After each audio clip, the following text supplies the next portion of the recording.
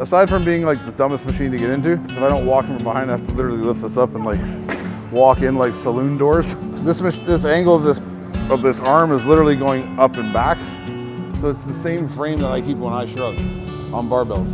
So I've been trying to find ways to hack it. This is not the best hack because probably no one has this fucking machine, but if you don't have it, hit up fucking the guys at Pure Muscle and get them to fucking send you a Gymleco fucking upright row shrug machine. I don't even know if this is what this is.